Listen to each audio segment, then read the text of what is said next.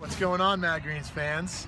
We are so excited to be introducing our newest location here at Lincoln, just to the west of I-25.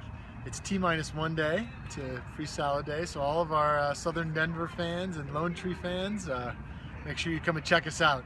It's going to be a great day, uh, free salads for everyone, and um, we hope to see you there.